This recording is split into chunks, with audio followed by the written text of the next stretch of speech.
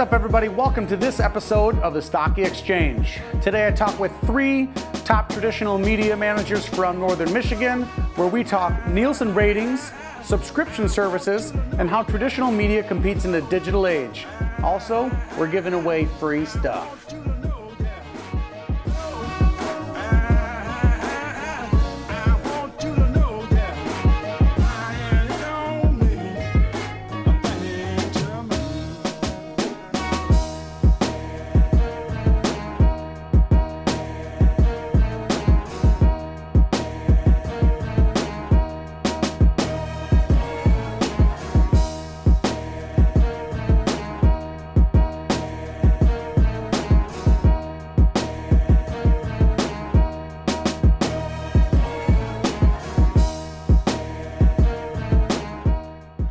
Welcome everybody to this episode of the Stocki Exchange. Today we are talking with uh, local media about marketing, the latest trends, and how they're staying afloat with uh, the ever-changing industry. Uh, so today I have Chris from WTCM, I have Bill from 9 and 10, and Luke from uh, the TC Ticker, Business, Business News, TC Business News, and uh, the Express uh, here in town. So thank you, gentlemen. Appreciate you coming on the show, and hopefully we'll get some good content here Thanks and for uh, let some people know about the latest and greatest in traditional media. Um, so we're going to get right into the questions. First thing is, uh, as you all know, and work in the industry, Nielsen Ratings uh, is a big player in terms of ratings for stations, uh, the ability to create shows, and what's liked, what's not liked. So let's talk a little bit about uh, do you like the rating system, what's better, and what uh, I know they're making some changes this fall. So let's kind of let people know about all the opportunities of you know how shows get rankings and the best way to um, you know understand them. So, Bill, you want to start? Well, yeah, we use Nielsen all the time. It's how we are. It's our scorecard. Um, Nielsen's making a major change in our market. It, it is in, uh, installing things called code uh, code readers that will be next to the television sets in approximately 400 homes in northern Michigan. They've already picked the people. They've already installed the code readers.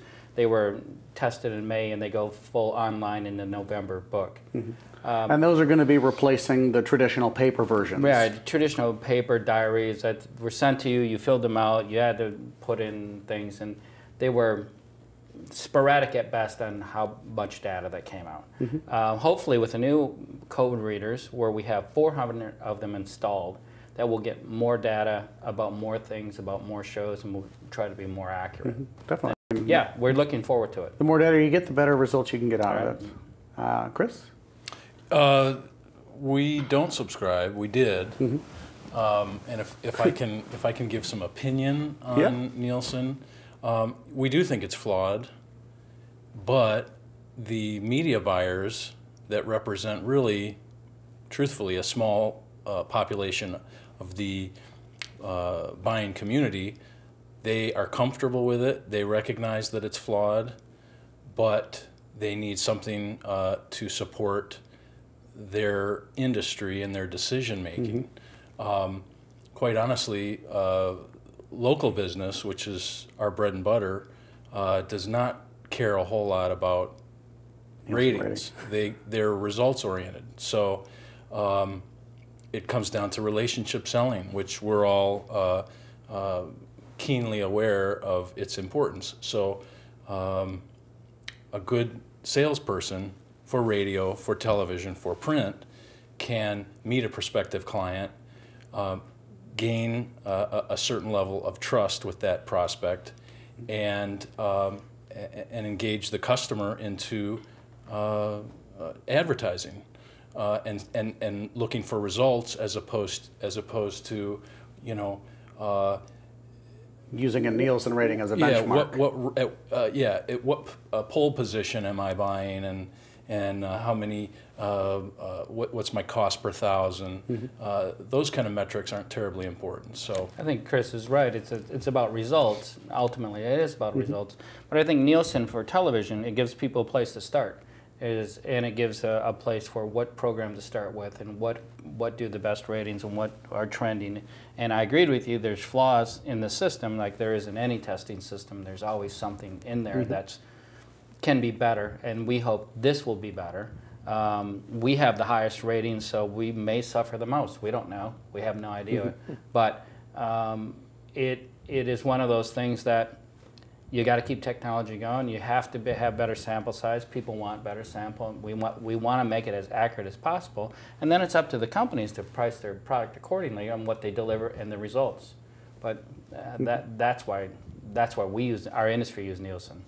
I think And- and- Go ahead. Go ahead. Ultimately, the, uh, the big drawback that we see with, uh, with Nielsen is the, the methodology and ultimately the, out, the, the results hinge on whether or not they were able to get a representative sample of whatever that geography is. And we joked in radio for years that if you really want to score well uh, with a rating service, program a station that appeals to old women. Because when Nielsen calls them up on the phone, I love to talk to them. they'll answer it and they'll agree f- for a small amount of money, a trivial amount of money, uh, to, to fill out their, their uh, listening habits. Uh, I would guess that the four of us, if, if Nielsen were to call any one of us right now, we probably wouldn't even answer it because the funny we wouldn't recognize the number. I'm a Nielsen subscriber right now. and They, they literally, I just started my, my paper survey a couple days ago, and they, they call me three, four times a day because I don't answer the phone because it comes up as unknown. and if you did answer it, Then they go on for 20 minutes about everything under the sun, and I'm like, what are you actually calling me? Did you get your paper? Yeah, And- dude, like you sent in the mail. I got it. and for two dollars, are you willing to fill it out? well, yeah, I mean, this, You're not likely even to get that far into the call before you click it. So Mm-hmm. that's that's our biggest beef with any kind of a survey Mm-hmm. is how how can you effectively get a representative sample? And I, and I think with digital technology these days, uh, I mean, a social media website, you have the opportunity to get instant digital analytics, which are, there's no, I mean, there's a minute flaw, but if you look at the, the, the wavering of Nielsen versus analytics of a website, you're not even in the same ballpark. So I think moving to a digital based system where you can really gather better content and better data is just going to be better for them. But like, they need to be able to keep up with the speed of how fast other industries are gathering data and good quality data. Mm-hmm. Anything, Agreed. anything to add? Lou? No, it's not really our thing. It's more of a broadcast thing. So Okay. we've been immune to it.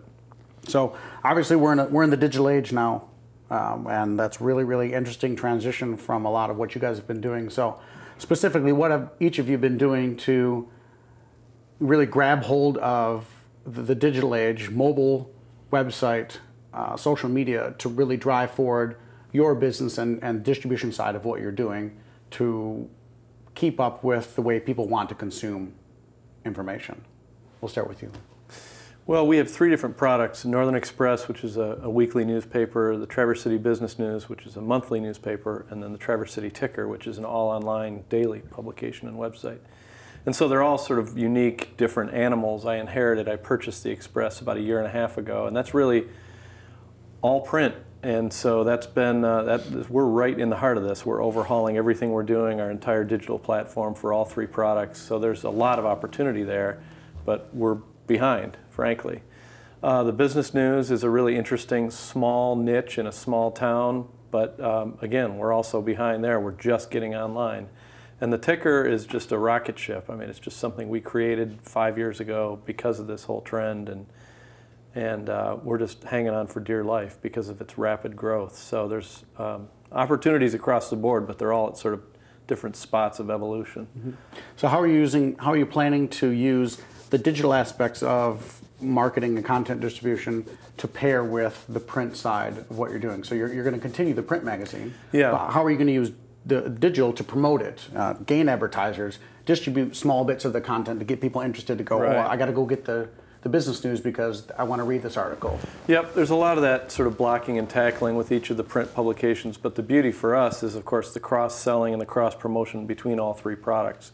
So that we can, uh, say, for instance, publish a feature in the Northern Express about uh, some event or some controversy, and meanwhile, the business news can cover it from a slightly different angle. And then online, we can publish a video of it and get people engaged in it. So we'll start to do more of that sort of cross platform, cross product promotion because we can. Yeah, that sounds fantastic. Bill. Well, we have many digital assets right now besides the web page and the, and the um, 9 and 10 News mobile site, mobile app, and the weather app. We're also, we've launched a new a n- division called Northern Michigan Digital, and what it does is it helps clients do search engine um, marketing optimization and real-time bidding. Right now is the thing we're getting into, because what we want to do is, and what broadcast does, as our part of it, is market your um, company, and whatever way you need to market it, that's what we want to be a part is is marketing. Um, on the on the other side, the content, that's the sales side. On the content side, uh, nine and ten, we use. Um, we put out the platforms of the app. We, we send things out. In the old days, the, the, the common logic was you should hold everything for your 6 o'clock news. You shouldn't send it out. Don't post it on your webpage. Don't do it anything. Don't tell anybody about it. Um, don't even talk about it on the scanner because somebody else will hear about it. Now, is as soon as you know Pulls it. up on the ham radio. you know, as soon as we, as soon as things happen, now it's, it's, we tweet it, it's on Facebook, it's out, and it, and you're right, there's more information and it comes to our stories, but it also gives us that interaction um, with our viewers, and we have 150,000 people on social media between all the platforms who follow us or like us, whatever they want to do, um, and 600,000 uniques plus on the web page, but they give you the feedback. They tell you more things than you can ever get in any kind of focus group or any kind of things. That interaction back and forth um, is is priceless. Yeah, with, social media, you have a daily focus group running 24 hours a day, seven days a week. All you got to do is It's, ask. it's amazing what they say. It's amazing.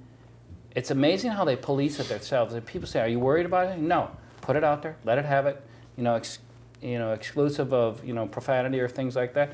Let them have at it and let people talk about it and don't be afraid of it. That's what I tell people when mm-hmm. I go to conferences. Don't be afraid of it. Go out and embrace it. It's the digital stuff is is is wonderful stuff. It's I don't know what tomorrow's digital is going to be, and I don't think anybody else does. No. And what I what I tell about, I'm not afraid of. I, I don't want people to confuse like when we talk about television with platform is. I don't. Our job is to is to make content. We we produce news, we produce programming, we produce sports, we produce those things.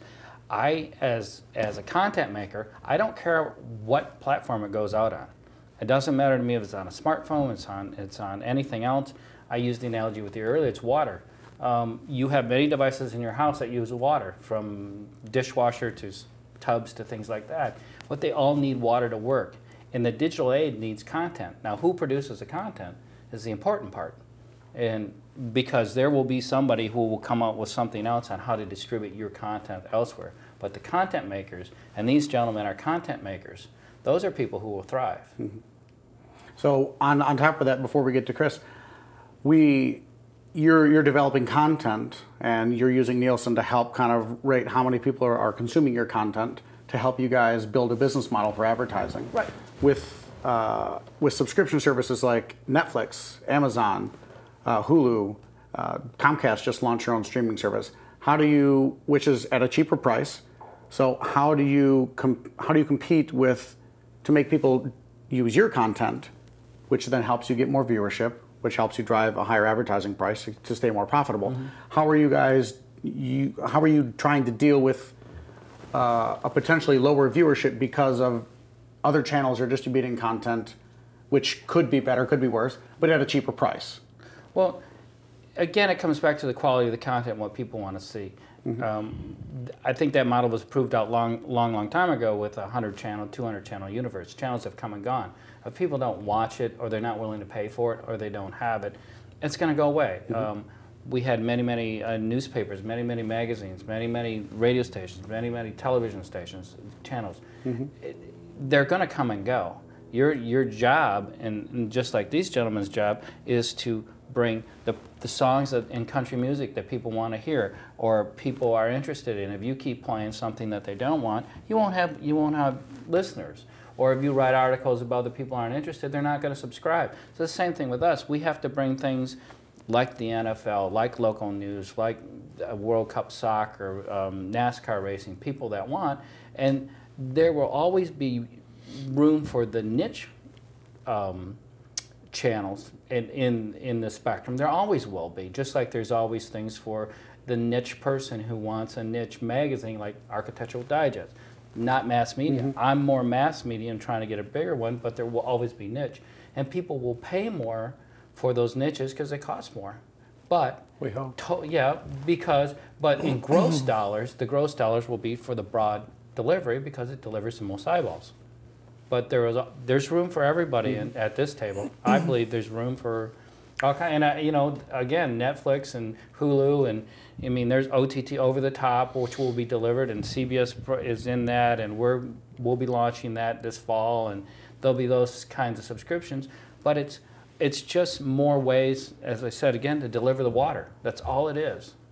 Cool. And the other secret weapons that we have, as compared to the bigger guys, is the local uh, content.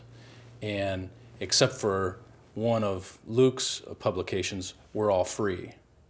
Uh, so, you know, subscription services, uh, you know, I think that, that free thing is, is a pretty nice advantage uh, over, over pay TV and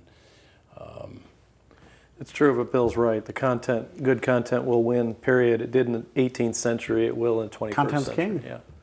Uh, I think uh, a big transition from, from my side as the person promoting, from a marketing perspective, is content versus context.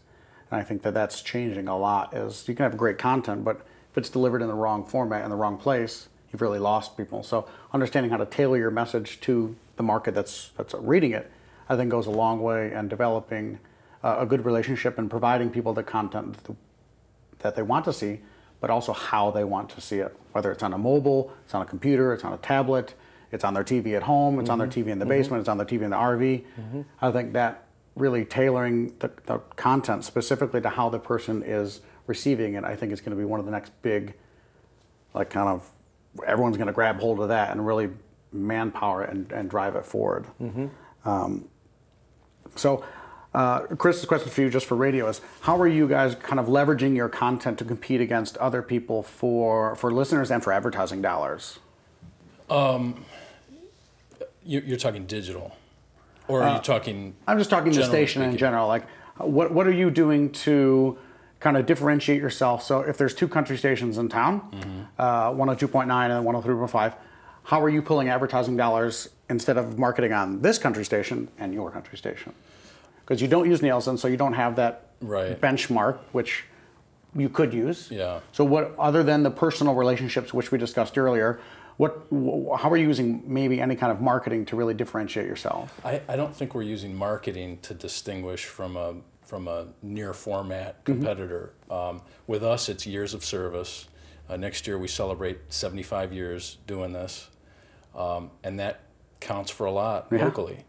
Um, and then quality control. So we have to make sure that our over-the-air product is solid, and it's not cheap to do that. So it requires some some pretty hefty investment. Um, and that's really how you can, or how we can differentiate ourselves. And we use these two guys to, to promote uh, uh, awareness of our stations. I, I listen to Chris's station and I drive a lot in the 32 counties that we covered. And I have Sirius in the car and I have all that kind of stuff. But I listen to Chris's station and Jack O'Malley in the morning because I like the interaction along with the music. I like what he provides and I like some of his, his other stations and programming and how they program in their playlists better than the highway or some of the other stuff or the pulse or his contemporaries mm-hmm. and it, it's choices and I, I like those things so as a consumer i think he competes very well because he provides something that's tailored to me or tailored to northern michigan if you will rather than one-stop shopping across the country. Mm-hmm. I- And, I- and you mentioned that earlier that, that local flavor really helps to, to drive people into like all right, I, you listen to the show because you like Jack and, and his commentary and his banter which really relates around what's happening here in northern Michigan. So Well, our local content, we're the only ones making local content. Yeah. There's a, Exactly. It's just like your AP, AP News Star or, you know, whatever you want. There's a thousand people who will tell you what's happening in Iran today. There's very few people that are going to tell you what's happening in Kingsley. There just, there just isn't, there just isn't, and it's back to the content. It's just like, if you want local business, you, you Not gonna take care, you go this, you want Traverse City business. It says what it says. This is what's going to be there, and that's the content that's there. There's, but if you want to see Wall Street Journal, you can see Wall Street Journal, or you can see whatever you want on business, but it doesn't tell you about here, and that's that mm-hmm. it's it's not cheap, but it's it's relevant content that people are looking for. Mm-hmm. Well, I love that idea. Just you know, keeping it local and using that as the competitive advantage against all the other mm-hmm. possible opportunities that are out there for you to spend your advertising dollars. I mean, it's endless. So offering that that uh, consistent and quality local touch um, keeps you guys. Keeps We you always going. say that technology cannot compete with a really good live local DJ. We've been competing Mm-hmm. against them for 15 plus years. Well, I also also think, and and you give Chris a lot of credit, and you're you knew you just bought. I think local ownership means a lot. We're locally owned, and it Can make a difference. it makes. I think it makes a big difference. It makes a big difference on how you look at something and how fast you react to mm-hmm, things, mm-hmm. and you keep your content relevant to your area rather than corporately. This is what we're going to do about X. Yeah. By the And time you- it gets up the chain and back down, It's It's hard to be here when you're not here. Right, and, and it's hard to react and it's hard to go. Plus, you know, when you're walking down the hall or you're in a grocery store, you get talked to, about your product. You Yep. get talked to your product. That's feedback that you want to hear, and you you have to hear that. And that's why being local is important. Yeah. That- Yeah, I, I love that. That's that's fantastic. Um, so we'll move on to the next question: is uh, subscription services for news content radio. Uh, uh, certain print people are, you know, you can go to their website, which you can only see a little bit of the show, or you can see the first 200 words of the article, but then you got to pay thirty dollars for the rest. What do you guys What do you guys think about that? Is it gonna Is it gonna stay? Is it gonna stick? Is it gonna expand? Are people gonna just get rid of that? Um, and and kind of let's talk about that ideas. Uh, if you think subscription services are good, or I think it depends. The jury's still out on paywalls. You know, for instance, we'll probably head that way with the business news. It's a very small, loyal audience with sort of high price, high value content that we just can't give away. But with the Express and the Ticker, the content is free and always will be free, and that's just our format. And um, you know, we make up for it in other ways with a bigger audience. So, you know, I think paywalls have their place. We don't have any right now, but as I said, we're probably headed that way with the business news. Okay. So are you gonna have so the because obviously the print version is for sale, Right. And then the digital version will just kind of mirror that, Right. If you only want to consume it digitally, Right. Okay, and that should help you in terms of cost of distribution, uh, you know, printing and uh, of the actual physical paper as well. Yeah, I mean, we think we're in a little slightly different and hopefully better position in terms of print than, say, a daily paper. Um, it's not a business I'd want to be in, printing a newspaper every day. So, but fortunately, we have sort of niches. We're very local. We have a very devoted audi- audience. You know, it's it's very targeted, and uh, that serves us well. You know, fortunately, peers like ours around the country in print are still doing very well while still making the transition to digital. Cool. Bill, what do you think? I don't know.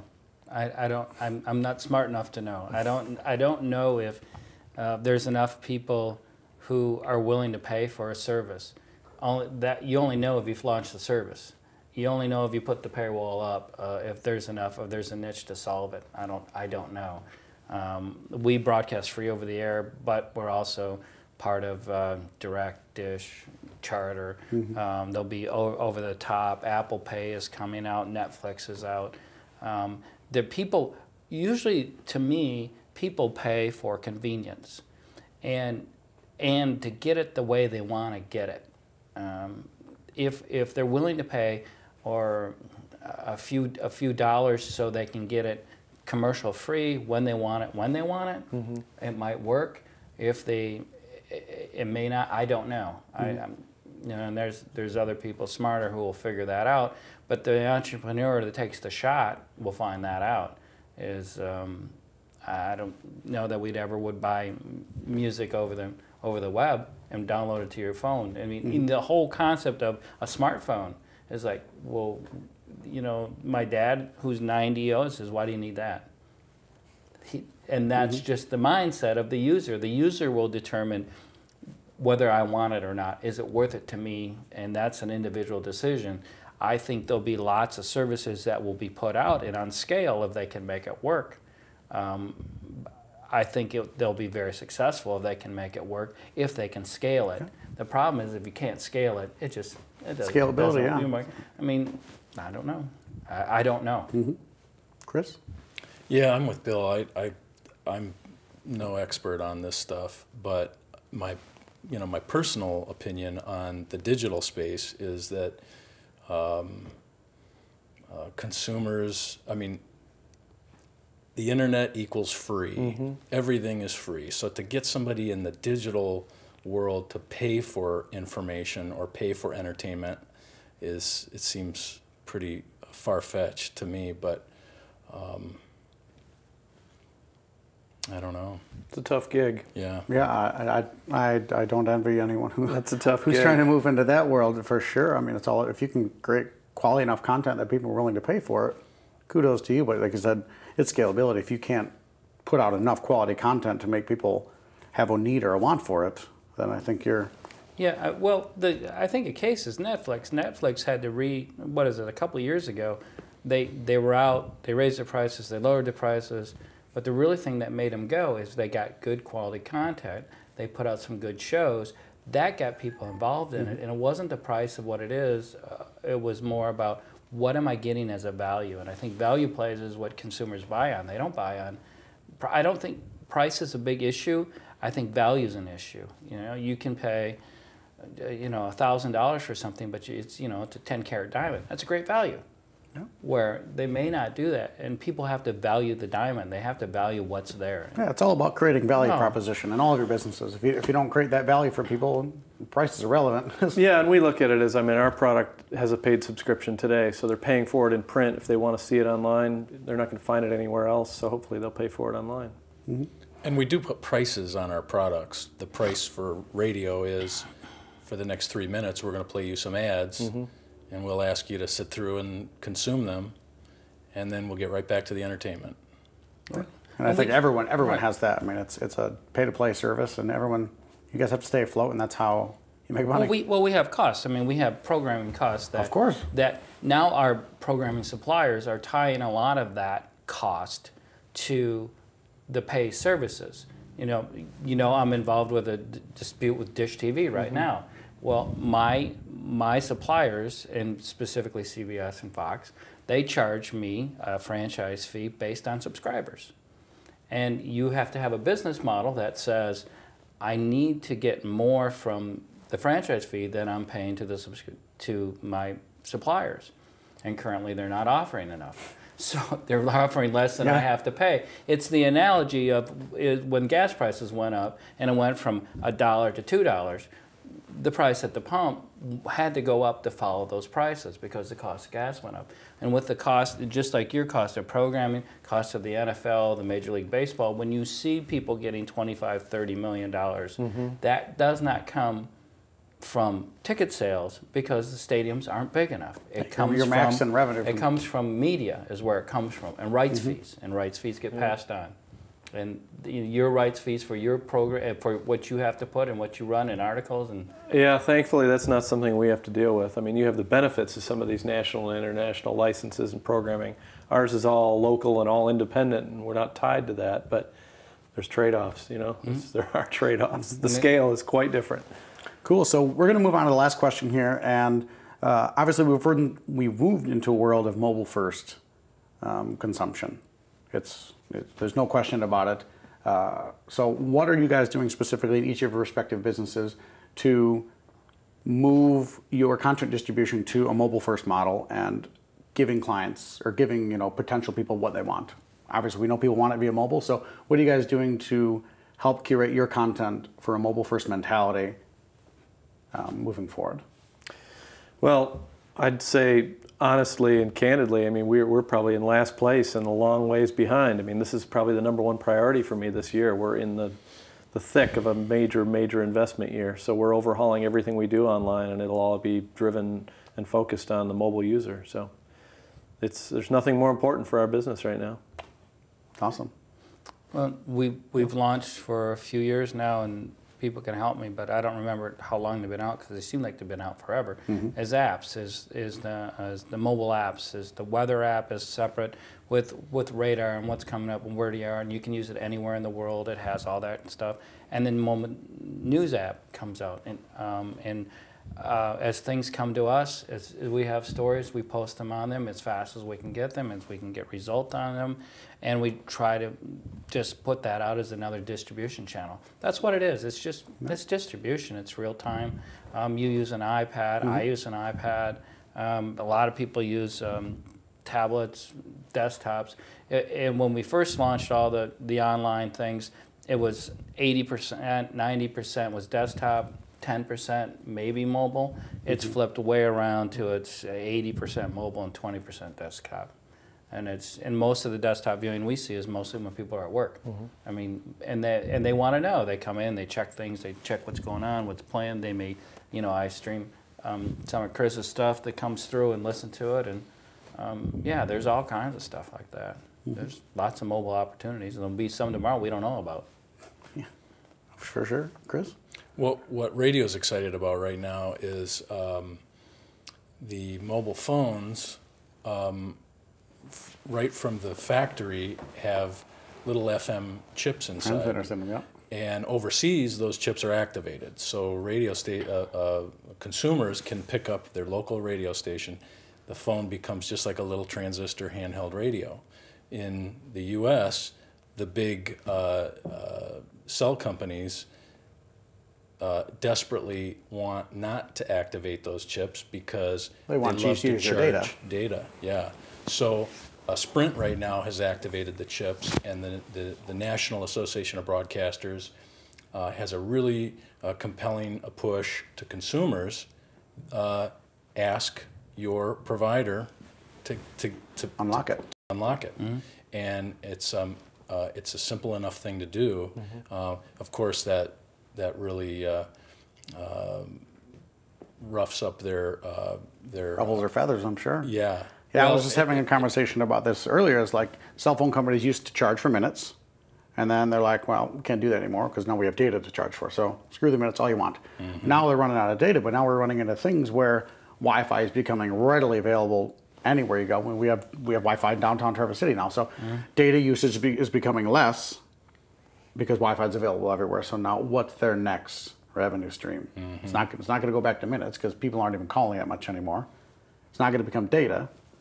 So there, there's going to be a big gap in that industry for how are they going to keep their infrastructure, that massive infrastructure mm-hmm. that cell phone companies have. How are they going to keep that alive? Mm-hmm. Oh, the inside your and inside your, your pad and inside the phone, and Chris has seen them out in, out at the conventions. Is you can watch television through them, broadcast over the air. Wow. It's it's it's everything's there. Everything's ready to go. It's just the availability and what you want to do, what you want to do with it, and where mobile's going to go next. We know that we have, uh, and Chris is involved with it, with big Spectrum auction coming up, and they're going to we're going to be repacked and we're going to be pushed, and television's going to change in the next couple of years after the FCC changes things, and we'll probably have another generation of television come out in the next. I'm, I'm predicting next five seven years, so we can use some of the more mobile aspects. Just like we went to a digital and we went to high def, we'll probably go to another because it's changing. next? It's changing. It's yeah. changing quick, yeah. Don't miss a single episode of the Stocki Exchange Show. Visit the Stocki Exchange Facebook page, like our page, hover over the like button, and click Get Notifications and See First to never miss out on a show or post.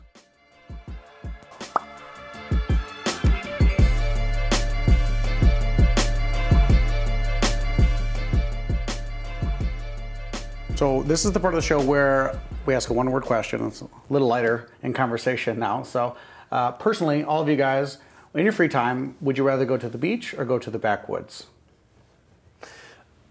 I'll say option C, which is big city. It doesn't follow the rules. No, sorry. Can't take them anywhere. so big city for Luke. yeah. Um, being a ginger and fair-haired, beach is not one of the, my for strong you? suits. I can sizzle there, but I, I prefer to be golfing. Is what I would do. I'm going to go to option D. I would go golfing. I'm, I'm off that. All right, And I well, will you don't even answer the I'll question. stick to Let's the go rules. E here. I'll stick to the rules. Uh, I'm a redneck, so I'm going backwoods. Backwoods. Perfect. So I'll definitely pick the backwoods as well. Just went camping all weekend, so now I just got to talk the old lady into camping. She's more of an air conditioning big city. Big city, yeah, right, right. gal, Good luck so, with that. Uh, well, thank you guys so much for coming on the show. I think we had some really great content. Super, super for me to learn like where your industries are going, how you're tackling things. I love to hear that you guys are like really grabbing onto mobile Mm-hmm. and running forward with that. I think it's fantastic. I look forward to seeing the new product. Both of you guys, Nielsen, I'm really excited for to, to get awesome new quality data to make better informed decisions on. You know, the better data you have, the better decisions you guys can make. And I love the local concept of what you're sticking with. And now you guys are just, no matter how big and wild this big digital world is, you, you stick to the simple things will continue to work for you. And that's, I think, how local radio stays consistent with good quality content. Give that local personal touch with your sales. And if you keep putting out a quality product, people will keep, uh, keep staying with it. So we do have a couple giveaways today. Uh, we didn't talk about those earlier. So um, have you guys go to stockiexchange.com slash blog for all the show notes from this. Uh, we're going to put all the social media channels up for these guys. Check them out on Facebook. Link to it up on social media. Um, hopefully you'll have a subscription service online for the, the, the business news later this year. So you guys can have a subscription there. Um, anything that you guys uh, want to add here at the end? Anything that was unsaid? No, plenty more to be said, but thanks for the opportunity. Cool.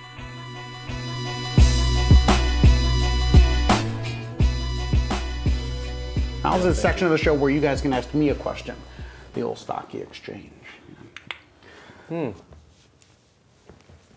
Let's Great. not all jump at once. Well, What are your, you're obviously into this digital space. Uh, what, what's the cool and exciting short-term thing that you're seeing? For for, for your industries, I, I think for for, any safe to say for traditional media, I think micro content is is huge right now. By that I mean short, small, uh, and whoever is the uh, like I said, speed getting it out as soon as it happens. I think that has a huge impact on the ability to create conversation and distribute information, um, and then learning how the, your distribution centers work now, like social media, like Facebook and Twitter, and what it takes to get information out. Two years ago, Facebook, you put something on there, everyone in the world saw it like automatically. But now, you know, organic reach on Facebook's pretty much dead unless you get a ton of interaction. You post something, a little, some text, maybe a couple people see it. You post a photo, more people see it. You post a small video, tons of people see it. So learning how that works and really optimizing content and context is huge for almost every industry. If you can take the best piece of content and learn how people on Twitter want to receive it, how people on Facebook want to receive it, how people on Instagram want to receive it, telling the same story four or five different ways via each distribution channel, doing the people who can do that the best will win the distribution game today. Tomorrow, right. you never know how uh, what you know a new thing. There's live streaming services out there like Periscope. Um, yeah, people want something exclusive. They love it. You know, no, I can't get it anywhere else, or it happened right now, and you know the fear of missing out. It's been around forever.